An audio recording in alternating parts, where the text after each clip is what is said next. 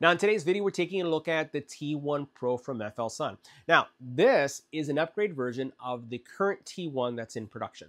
Uh, what I'm going to do is share with you my experience with the T1 Pro, but this is going to be more of a first look video. The firmware and the slicing software are still receiving updates. I don't have final versions, but I've had this now for a couple weeks and I've been running prints and I want to show you how it's performing for me. Now, we run a small farm, so I'm going to give you my perspective of someone who actually generates functional parts for a farm for commercial use. And as you can see, we've been using FL Sun products for a very long time, and they're still in production within our production line of 3D printers. You can see I have my trusty V400 and one of my first, which was my Super Racer right behind me. So we're going to take a look at the T1 Pro. I'm going to give you my perspective, and I can tell you there's a lot of potential. There's a lot of things to like, but I also expect that there's going to be also further improvements to this product line. So let's get right to it. Now, before going through the printer capabilities and just taking a look at the printer, I wanted to show you the prints. This is something that's really important to me as someone who runs uh, a small business. And I want to make sure that I have good quality, that I have accurate dimensions, and that it's repeatable and something that we can run consistently. Plus, speed is really important to me. And what you can see here is a couple things. First of all, we did tests using FL Sun's filament. Now, I don't run in our production line, FL Sun Filament. We're actually running, I'll show it right here. We uh, run Polymakers, uh, Polyterra PLA. Uh, we do most of our prints are going to be PLA based. We do some PETG, we do some ASA, and there's some stuff that we do that is more abrasive, more durable, but those materials we don't really get requests for. Most of what we do is going to be in PLA. So the grays you're going to see is what we typically run. And I also run some black stuff as well. So black PLA. Now, a couple things. First of all, we did run a Benchy. And keep in mind that this is at the fastest possible speeds. We'll see all the stats in a couple seconds. And uh, this is with no calibration. So I was using the standard profiles that FL Sun provided, and I really didn't do any kind of flow test or anything like that because I just wanted to see how ready would it be right out of the box. So uh, this is using, again, the PLA, the, the uh, Polymaker PLA, and this is uh, their fastest Benchy, right? And as you can see, it's not perfect in any way, but it's not horrible either. So you can see some defects that you have right here, uh, but this was at the fastest possible speeds that you could get on this printer. And this printer prints fast, right? So this is a super fast printer. Matter of fact, you see in the background that I have several Bambus. Most of my farm uh, is in the Bambu, especially if I can fill, uh, fit things in that build plate. When I need larger stuff, I have to use some other machines. So I do have like a Prusa. I also have some other brands, like I do have many Keitys as well as that I use. But uh, what we do is we print with this and you can see here that there's some opportunities here for sure. But that's just a start. Uh, the other thing I wanted to see was how well did it do, oh, and I just broke that, how well it did in some of these torture tests, right? Uh, the actual, everything, nothing stuck, right? So the tolerance levels were fine, and you can see that for the most part, it passed. Uh, some areas right here, it failed. There's some adjustments that I can do, and I could probably leave the door open uh, when I'm doing this because the chamber does uh, hold heat really well. And, and keep in mind, it's not a heated chamber, but it does hold heat really well. So I could probably open up the door to make sure that these overhangs don't have the defects that they had. But overall, with some tweaking, again, I think that this could be greatly improved. Uh, I didn't do any kind of tweaking whatsoever. And what you see is pretty much with the standard profiles. Now, uh, we also then did more with their PLA. And I wanted to see if there was any difference between my, you know, my standard batch and what they do. And what you can see here is theirs. And very similar, good quality, right? But I'm still having the overhang here uh, defect. But again, this is not final software. The slicer software is not final, nor is the firmware final. So I'm just doing my own testing. Uh, first layers, though, are pretty spectacular. So I really like that. Here's another overhang, uh, very complex test. And this was super fast as well. Every one of these was lightning fast to print. And I was actually happy with this one. Uh, while I have some stringing here, some defects here, for the most part, I thought that this went really, really, really well. So you can see what this looks like. And then again, that first layer is pretty spectacular.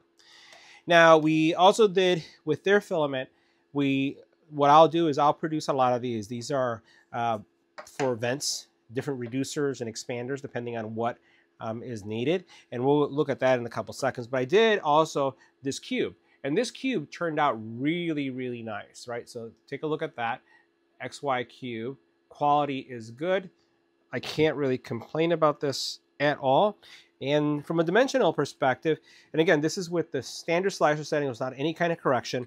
Let's take a look at what we have. So we have, let's make sure we switch this so that we have millimeters. And we're going to zero that out to make sure we're okay. So you can see that's a little bit 19.9, right? We'll go over here. We have 20.13. Go right here. We have 19.9 again. If I go up here, you have 20.14, right? Uh, you can see here, here's a slight defect. I noticed that the filament got a little tangled as it was being fed, so that's what accounts for that. But that's that's kind of like the quality I have there. Now, other models that I checked out, and these are all print in place. This was with using, this filament is probably two years old. Uh, didn't dry it, put it in the machine, and I also, this is not intended to be high-speed filament. Uh, so this is like a translucent purple, and it works, right? Quality is good, you know, for, for, something like this. It's not the most expensive filament. Matter of fact, after I used this filament, I tossed it because it just doesn't suit anything that we would do. Uh, here's another piece, right? This is all this stuff worked fine. And, you know, you can see how nicely it moves. And this again was with their, uh, with their slicer as well as their software. Here's another piece that we did. We did one of these. Why not? Uh, I don't produce these as part of what we do, but you can see print in place and it's functional. We then also did one of these guys right here. This is like a tea light and it printed fine. Again, not too crazy about the color but it still did well. The quality is there. Detail is also really nice. And you can see again, that first layer is pretty spectacular. That's one of the things I'll say about this printer. The first layer printing is really good. Now, this is where I wanted to see how it would produce some of the products that we have in our product line. And this right here did really, really well. This was fast. And on average, if I compare it to my, to my uh, let's say, any of the Bambus that I have or some of the other printers, the FLSun T1 Pro is on average 20 plus minutes faster than my other printers. Again, let me say that again. So as I look at this print itself and compare it to what I'm getting off of my Bambus, this is coming out uh, 20 minutes faster. And the quality here, it does really nice. So if you can see here, the overall quality of this print was really nice. And I also ran some in my own filament in black because we would print this out in Polymaker, but with black. And it's nice. It's durable. It feels uh, strong. The integrity is there. And this is something that I can put in front of a customer. Here is another one, and you can see this one as well. This is for a different product, and it's sized differently. And you can see, again, really, really nice quality. And again, something that is client-facing for sure. Now, we're still working through some filament tuning, and this is a, a jig uh, that we uh, that our clients also acquire, and this is for a specific product that is used for laser engraving. And what I'm noticing here is, and I've been talking to the folks at FL Sun, is that there's some opportunities. Uh, you know, both slicing, calibration. There could be some firmware improvements that need to take place.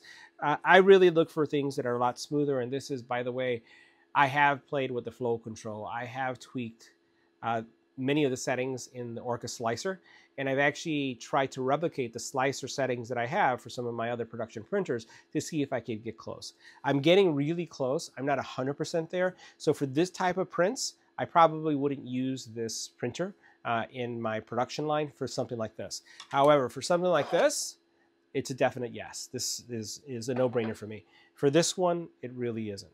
So again, you know, these tests that you saw here were done either using FLSun's high-speed filament, which I asked them to send me a roll of what they felt uh, they've done their certification and testing, and then this is what I leverage and produce. Now, we also did a layer test, a, a first layer test, and we're going to run this so you can see this in a couple seconds again. I have to say, you know, there's a slight defect over here that I, that I noticed, but this is good. I've been seeing some really, really great first layer coming out of this printer without any tweaking. And I'm really looking at this as an appliance. Um, and this is what I've told FL Sun, I want a printer that I can unbox, I can set it to print, and I shouldn't have to do any tweaking. I shouldn't have to create profiles. I should have a low, medium, and high quality uh, profile inside of Orca that I could just use. And maybe, you know, what I would expect to do is to do some tweaking for the filament, you know, because if they don't have that profile, you know what, I can do that. I can do the calibration test to get things down where I want. But I'm really looking for something that prints out of the box. And I'll say so far, I've had that, even though this is a first view, right? It's not final. And I'm still getting updates almost every week, and I'm giving them feedback, and they're making improvements. Let's take a closer look at the printer. Now, for the most part, when you look at the T1 Pro and you look at the T1, they look very similar, but there have been some improvements. One has been on how loud the printer is. And from three meters away, what they claim is around 55 decibels of noise is what you get. And when we put it to run, we're going to do that on camera, right? Now, keep in mind that this is a still a, I wouldn't call it a production unit, but just to give you a sense of what I'm experiencing. So, uh, so that's one of the things. And when you close this door, it does get a lot quieter, but I can tell you, it is still loud. It is not whisper quiet, but it's it's quieter in my experience uh, from some of the other products that I've reviewed in the past. And so when we open this up, what you'll see some common things. So first of all, you'll see that the filament spool is inside, right? You do have an optional mounting on the outside. You do have, again, uh, the CPAP here. You have the filament guide coming in. Uh, the overall first bed, um, I would say first layer is pretty spectacular in this, and you're going to see that in a couple seconds. As we come down, you'll see, again, the build plate, magnetic. Uh, this is also auto bed leveling. It's, it's just like the T1, right? So it has all those great features. But we're going to highlight everything that has changed uh, shortly for you. Uh, you'll notice here that you do have a LED strip that does a really nice job for illuminating. Let's take a look at the software. Now on the software side, you can see good information here uh, with top speed information that I'm connected to Wi-Fi, you know, the temperature of the bed, the temperature of the nozzle. Um, I've been doing a lot of printing and you can see, uh, so this model right here, uh, that bottle cap holder takes 36 minutes to print. It takes a little bit over an hour on one of my other printers, on a Bambu, for example.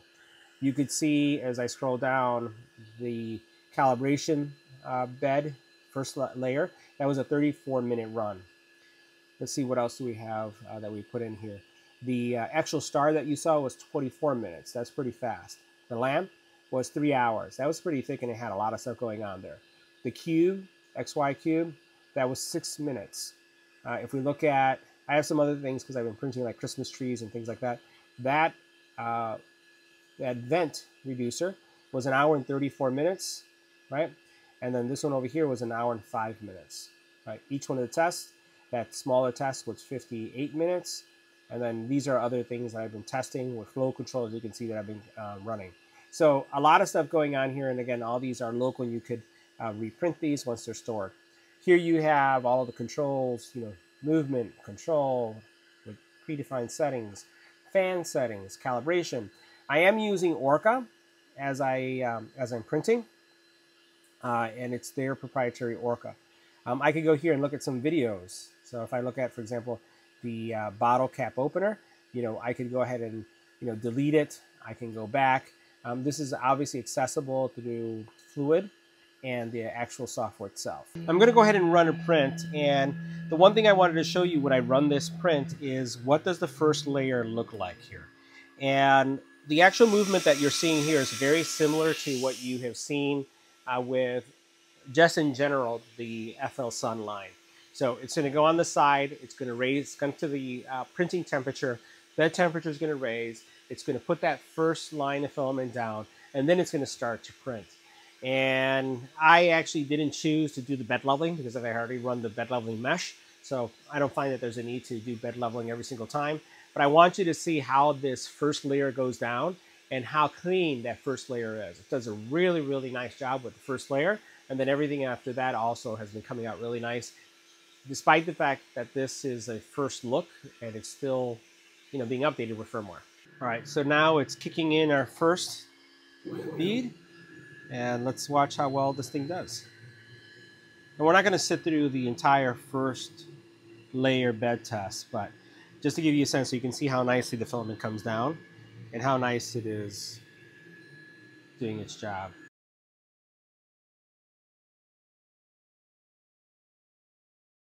All right, now look at how clean that first layer is coming out. And keep in mind, again, this is a first look. Firmware is not final. Slicer is not final. And that first layer is looking really, really good. I also didn't run bed leveling before I ran this. So I'm sure that if there's any defects, I could have probably caught those by running uh, the bed leveling. But this is what I'm talking about. This is what I've been really impressed with this printer, despite the speed, is what that bed leveling looks like. Uh, well, not the bed leveling, but the actual first layer is looking like. Now, the next thing we're going to do is we're going to pull back. We're going to let the printer continue to run, as you can get a sense of how things look right now. And what we'll do is we'll see how much noise is being generated uh, by the printer now. You can see that the fans are not going off a lot because it's actually running a little bit slower. It's running right now at 60 millimeters per second. And once it speeds up, then that's when you actually start hearing the fan make a lot more noise. And then also, as it's moving left and right, that's when the noise kicks in. But let's check and see how things sound. Now, as we're doing this sound test, keep in mind that I do have a lot of white noise in this room. And what I'm going to do is I'm going to put the phone very close to the uh, T1 Pro, and then I'm going to bring it more towards me uh, towards the camera so that we can see what the sound difference is. All right, so now we're running that production job. We're running around 70 to 260 millimeters per second. It's going to be about an hour and 30 something minutes to run. Bed temperature is at 55, 60, and then my uh, nozzle is at 220. I'm going to stay quiet. I'm going to bring the actual sound meter to the camera so we can see it's around three feet away.